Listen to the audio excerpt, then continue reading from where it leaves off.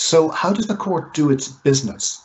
I have to give a bit of a health warning here because it's 13 years since I left Strasbourg and I try hard to keep up, but it's very difficult because there is so much going on there.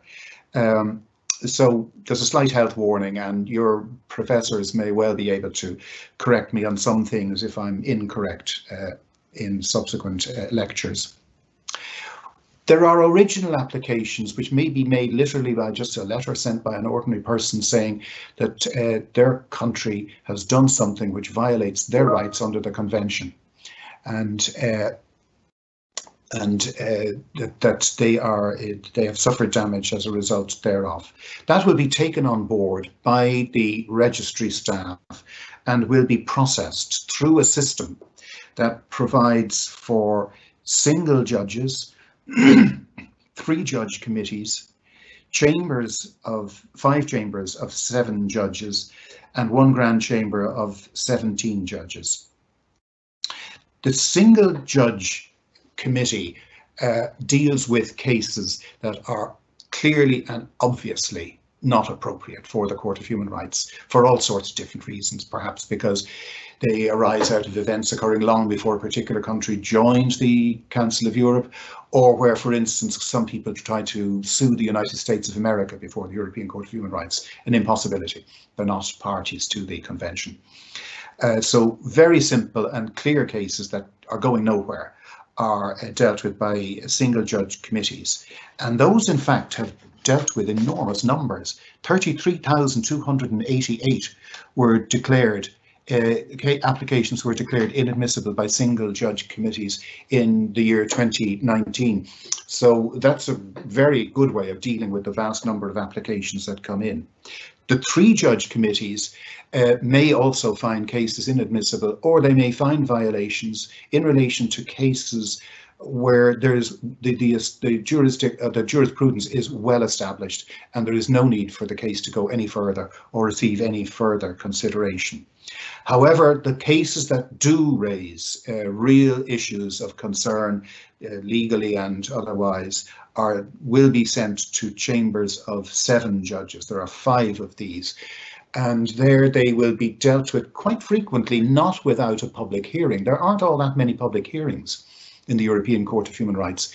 Uh, the cases may be brought before the, uh, the, the, the, the Chamber of Seven, and in many cases may be disposed of relatively quickly with a judge rapporteur outlining the case to his or her colleagues, discussion taking place, a decision being made, uh, the matter being adjourned to a, a, a, panel that will draft the judgment in in association with the registry and then subsequently brought back and agreed as a judgment.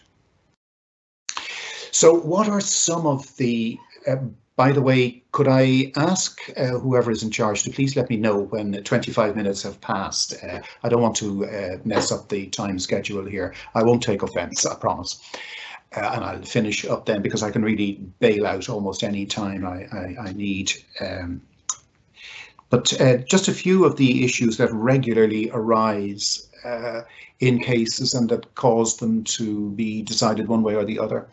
The obligation to exhaust domestic remedies is one of the key uh, matters. And this is because every member state is entitled to resolve the convention issue in its own legal system before a person refers it for international supervision. And uh, that is a that can be at times a very controversial uh, matter. Uh, one of the early cases that I was involved in as judge rapporteur was the interstate case of Cyprus versus Turkey, and that was a case where uh, Turkey had invaded Cyprus and set up the Turkish Republic of Northern Cyprus. The Greek Cypriots who lived there, of course, bitterly resented this and uh, did not want to recognize the state in any way at all. But the convention requires that there be no human rights vacuum. So Turkey, a member of the Council of Europe, was obliged to ensure that courts that could deal with people's uh, complaints and provide effective remedies should exist. But of course, they didn't want to, the the Turkey, uh, the Greek Cypriots in the so-called TRNC didn't want to do this. It was uh, highly offensive to them. Our court in Cyprus versus Turkey, in a very controversial decision, found that they had to do that. And the reason for that was based firstly upon the Namibia opinion of 1971 of the International Court of Justice, uh, which dealt with a situation where there was de facto illegal de facto regimes such as that of South Africa in Namibia. Their UN uh, uh, right to run the place had been withdrawn. But the Namibia opinion of the ICJ observed that, of course, if this happens, that human life still goes on. There have to be births, deaths, marriages registered, contracts have to be honoured. Otherwise, the oppressed people are even more oppressed. So there has to be some measure of recognition of the acts of so-called de facto regimes. And in that context, we took the view, it was the decision of the court, that the even the, uh, the, the, Greek Cypriots in the Turkish Republic of Northern Cyprus had to exhaust the remedies in the courts that had been established. Another reason for the court's decision was that it would be entirely anomalous if the, the convention requiring a country such as Turkey to establish in the TRNC courts that provided protection for human rights were then not obliged or were, were not able to actually operate them uh, because people wouldn't go there. It would also turn the court in Strasbourg into a court of first instance. So that was the obligation to exhaust domestic remedies. Uh, the court couldn't be a first instance court, but it also can't be a fourth instance court, by which I mean that it is the procedure and defects in that procedure that must be examined by the court and found to offend against the convention rather than the court focusing on the outcome of the case itself.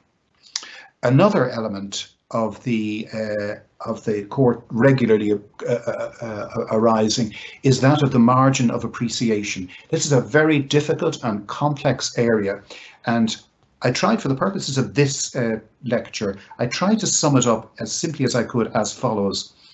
Where independent and impartial domestic courts have analysed in a comprehensive and convincing manner the contested legal measure on the basis of the relevant human rights standards and provides relevant and sufficient reasons for their decisions, the court will rarely intervene.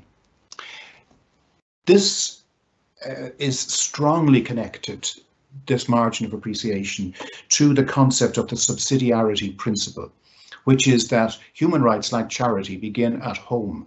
And it is in the domestic courts that the convention should develop and should be given effect. In the ideal world, which will never exist, Strasbourg wouldn't need to exist. The Human Rights Convention would be implemented uh, nationally. Uh, of course, that's never going to happen uh, and there will be always a need for the court in Strasbourg to be the final authoritative voice.